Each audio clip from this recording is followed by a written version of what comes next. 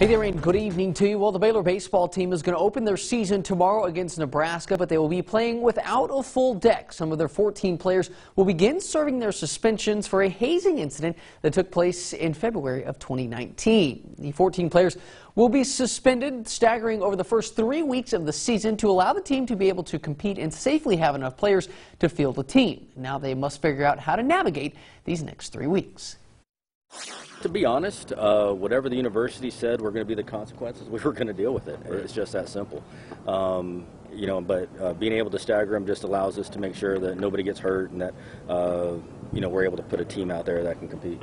You know what? It hampers it, but at the same time, that's what uh, that's what our consequences are, and so it's my job to figure that out. And um, our coaching staff, we're, we're pretty bright in regards to a lot of those things, so we will manage it accordingly.